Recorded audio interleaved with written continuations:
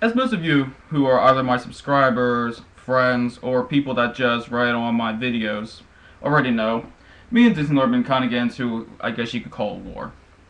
And you know what? To war, there's always one person victorious. And I believe it was actually a quote from Harry Truman that said, "I never gave, I never did give them hell. I just told them the truth, and they thought it was hell." I find that quote to be very interesting. However, this is not the point.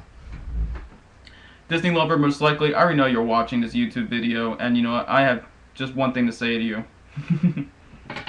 I dare you on Wednesday, March 30th, to disable all YouTube privacy settings, that including with your channel comments and your inbox.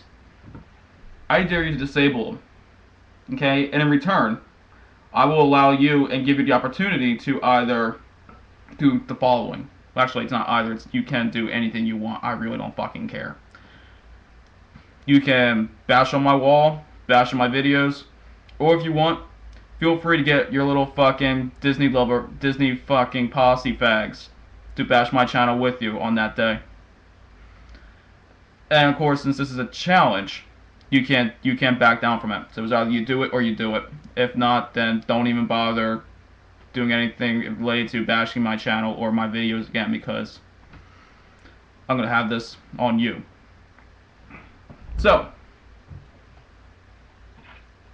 Town Dog, to know that you've accepted my challenge, okay, on Wednesday, March 30th, I will check in the afternoon and see if I can bash on your wall. If I can't, then don't even fucking bother doing anything to my wall or to my videos ever again.